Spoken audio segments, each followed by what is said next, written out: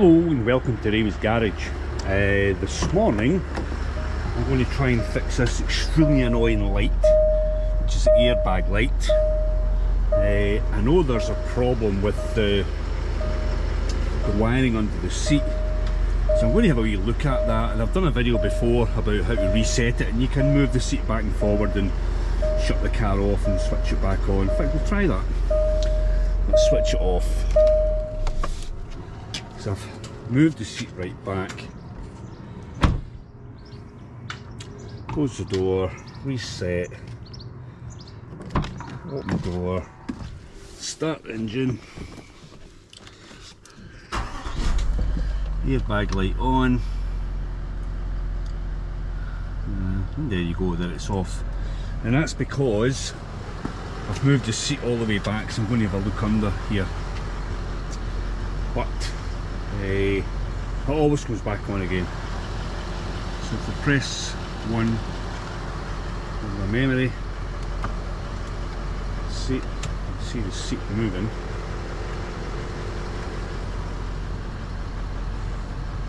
So off, engine off, close door,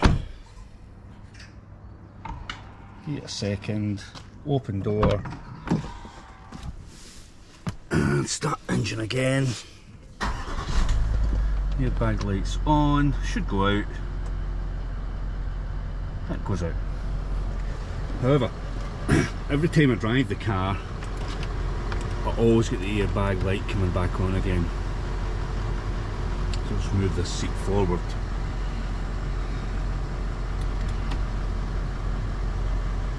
So I'm just going to have a wee look underneath the seat try and understand the wires that are coming off or that are being moved. So I'm going to look underneath the chair. Let me just test this light out first. Oh, that's much better. So you've got this bit of wiring coming from the bottom of the car and I think that's the bit that moves. So let me try and see if I can move the seat with that. Just moving it forward.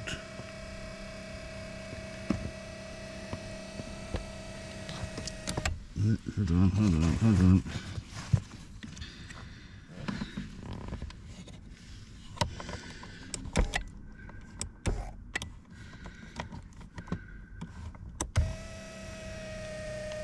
See it moving now. Move it right all the way back.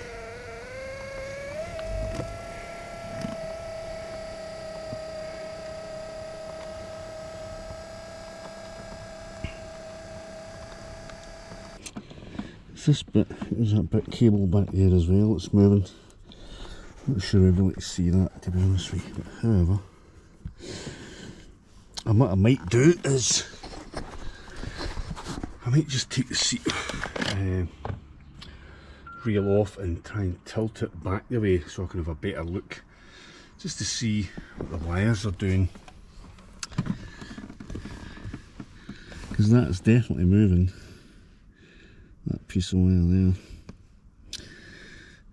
I know there's a cable we can buy which I've got which is for this side airbag here.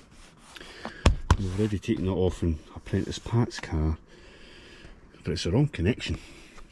It's a vertical one rather than a horizontal connection on it.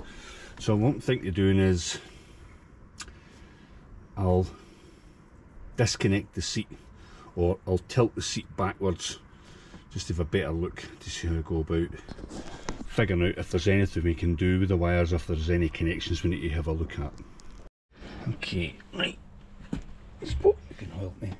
So to take these off, there's a wee Torx screw there. The light's not catching that. Uh, which is an E12. Get it going. Off. It's quite slack. This one over here.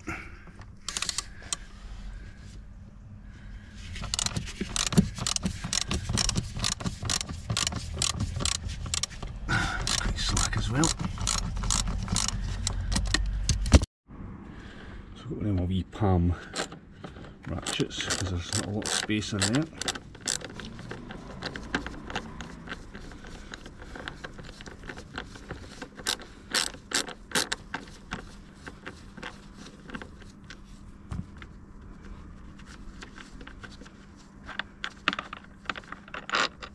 It's a big boat. I don't know if that's a wee bit of thread lock on that.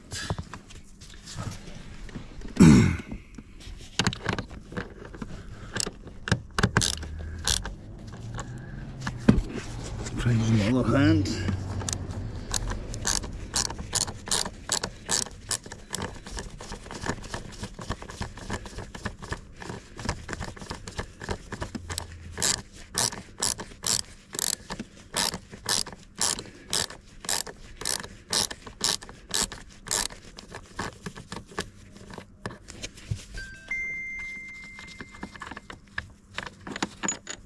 There's a little bit of thread lock on that bit. Okay, so that's that. It's a handy wee tool, that. So we'll try and get the seat to move forward.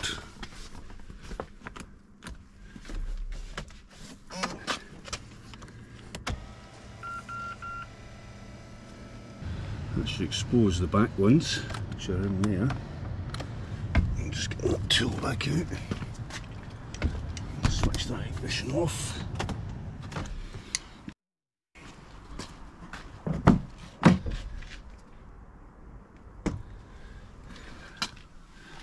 So the backing should be much the same.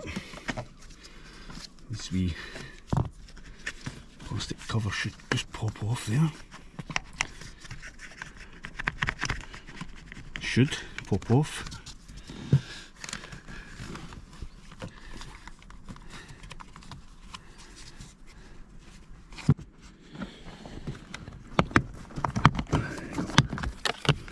That's one.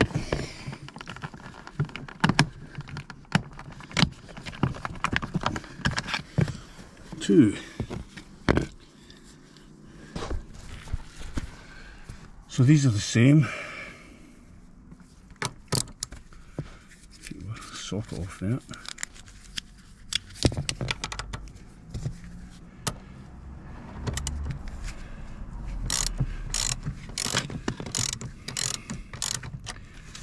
one.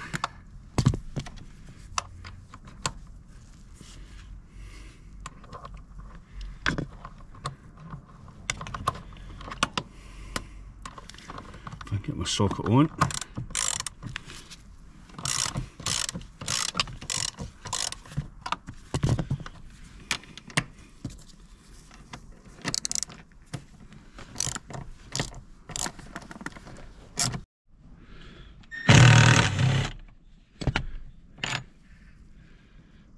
Thread on that.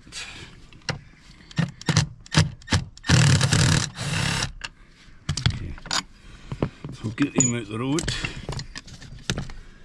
The seat should move, which it does. So put him over there.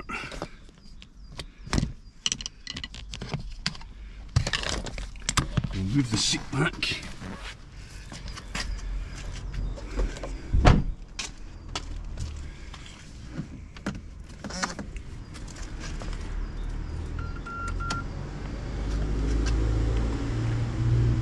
I'm hoping this seat just tilts back enough for us to see what's going on. So that's us back as far as we can. so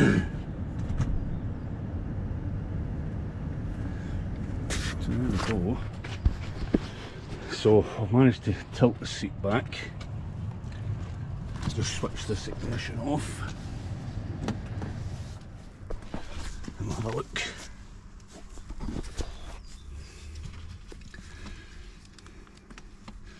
So this is the cable I was talking about here. It moves. There's a connector here. It's quite wobbling about. That probably hooks in there. It does actually. It's just came off. That there is supposed to be. If you can see that, it's supposed to be hooking that harness up there. It's quite slack and that looks like one of the cables for the airbag. Just moving about a wee bit.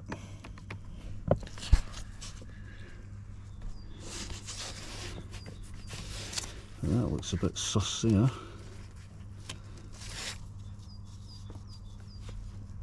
So I'm going to get the other cable I bought just to see if I can identify the wiring colours to, see if it's the right cable I've bought, although it's, I think it's the wrong connection to be fair. This here, uh, I'm not 100% sure what that's for, but it's certainly flapping about. And if you notice, just on here, these wee white score marks, see them? Well, it must be rubbing on something. Um, look quite look quite deep for what they are, but they're definitely white score marks on there. I hope we can see that in the camera. Um, apart from that, I can't really see anything else. Um, the cable that I've got uh, is this cable here, and it's got this type of connector on it, which is a like a horizontal connector, and the only one I can see that's got that type of connector on it is I don't know if we can see that in here. So this looks like the that yellow tab there looks like the pre-tensioner for the seat belt uh, so I'm going to try and follow that cable to see where it goes. And maybe if we could replace that cable because apparently this cable is a bit longer there's a number on that if you ever needed that. Um, GPLA 14834. So I'll maybe try and see if I can follow that cable in there and see where it goes to. But what's what's thrown me there is that it's only this part of the seat that's moving, the up and down part in here stays all stationary. So these, the bottom wires, are the only ones that are moving. Potentially that one over there as well. Um, I don't see any wee clips on, oh there is a wee clip on that, see that? This wee clip here, me try and figure out where that goes. Yeah, because it's certainly got a wee Christmas tree holder on it. So, let me have a look and see can see where it actually goes. There's a hole somewhere. Now I wonder if I could just move the seat a wee bit more. Tilting that forward.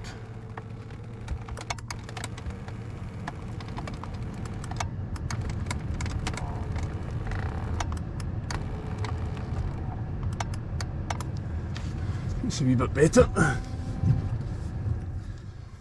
It's a bit better. Now, where does that Christmas tree go to?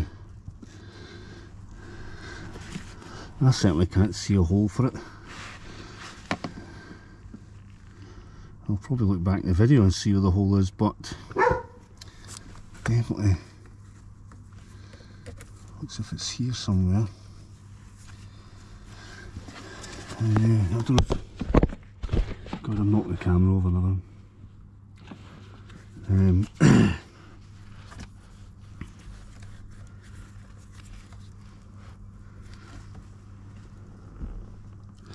I suppose I could tie it up.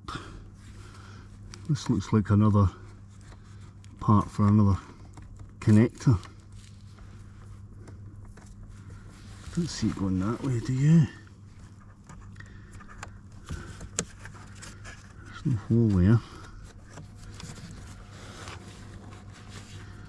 This doesn't look too healthy or secure should I say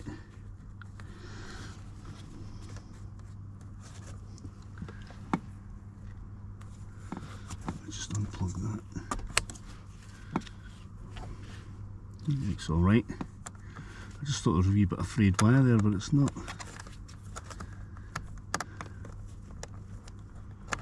Try to do this left-handed upside down. There we go, that's back in. Yeah, that was a mystery where that goes.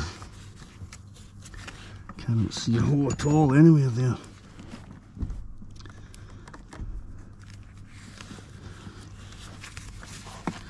Also got these bits of cable here that are quite bent.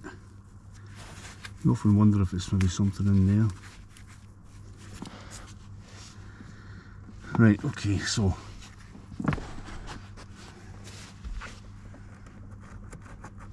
let's see if I can put that back on. Get the light fixed first. Go.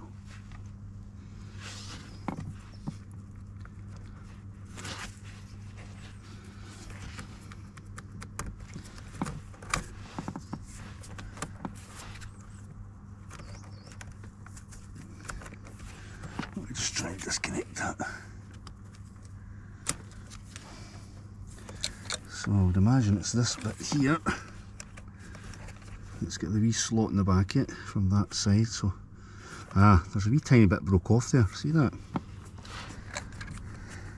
I don't know if I can pick that up with the camera. Hopefully I can. Yeah, that wee bit that slides on the back of that is actually broke. So we've got to wonder why.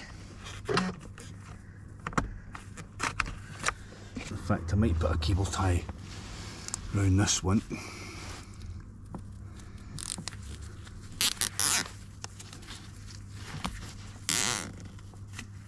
Just to hold that in position.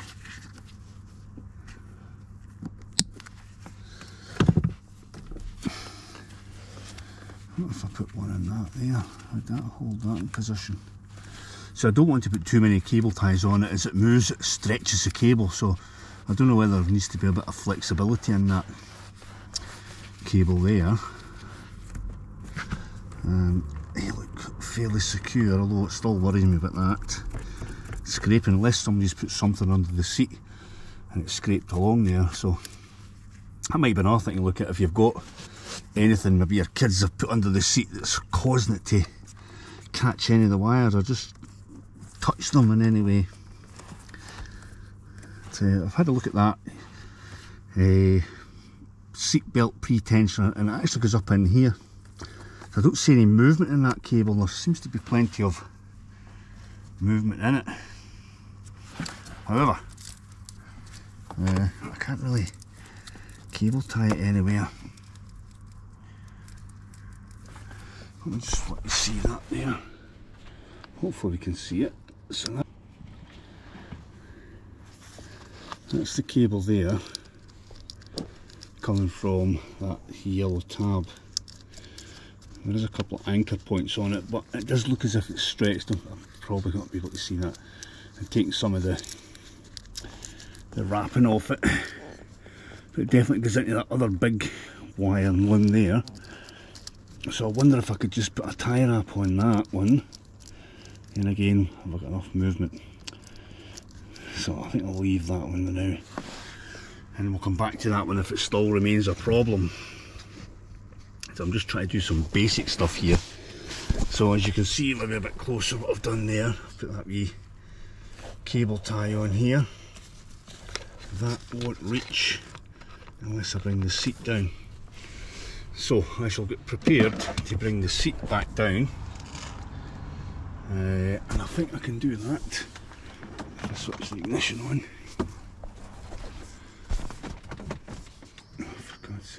Key? So I'm basically turning that to bring the seat down a wee bit,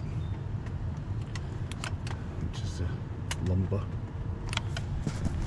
See, it's going to give me enough room to get that cable in there.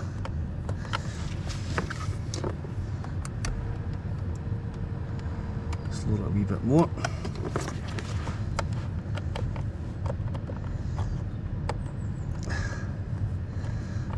It's just a, a bad angle there.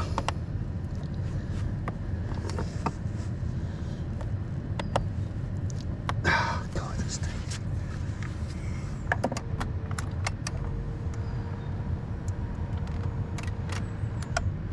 Okay, let's try again.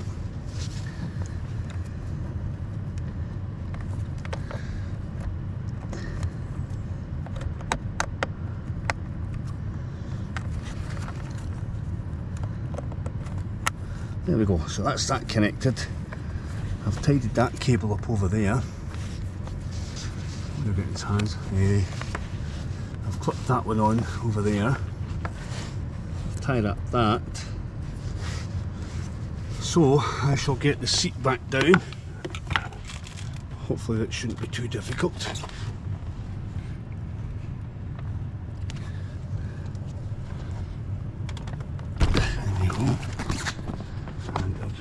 get one of the bolts in here just to secure that. It will move but I'll try and bring the lumbar support back up to balance it a wee bit.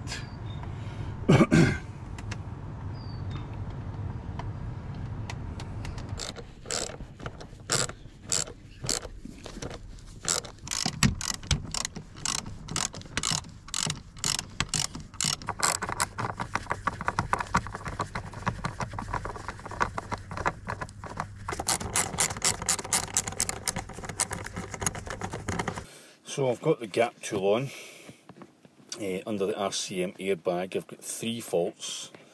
Right side airbag deployment control, general electrical failure, uh, driver's seat pre seat, driver's seatbelt pretensioner deployment control, general electrical failure circuit open, and battery voltage general electrical failure circuit open. Now, I also notice I've got all these other codes which are usually not there and which is unusual. Um, I'm beginning to wonder if I've got an intermittent earth problem in this car. So let's clear these codes. See what it does. I've certainly no airbag on. Close that.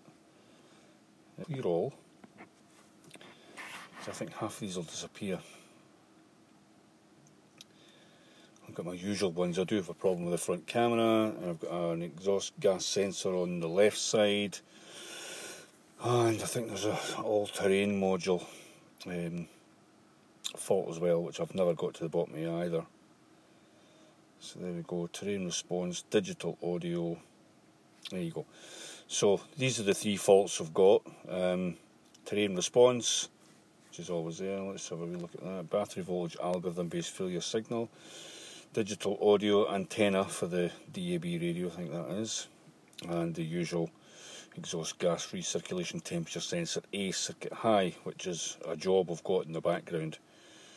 So it's interesting that these are the only three faults that come up. I can drive the car and um, all these faults come back. So I'm beginning to wonder, based on the faults, that there's an electrical problem and it might be that that's an earth uh, connection. So there we go. Scanned again, three faults, no problem. All the airbag faults are away. Well, that was a wee quick test drive there and no light on, so we'll just have to wait and see.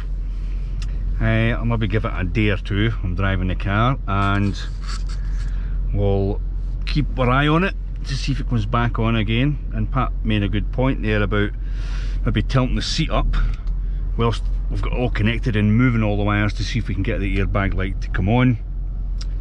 Uh, but I should have done that myself I never thought of that. However that's us for now. Hope you enjoyed that video and I hope it works out for you if you have a wee look at your airbag light. And we'll catch you on the next one. Cheers for now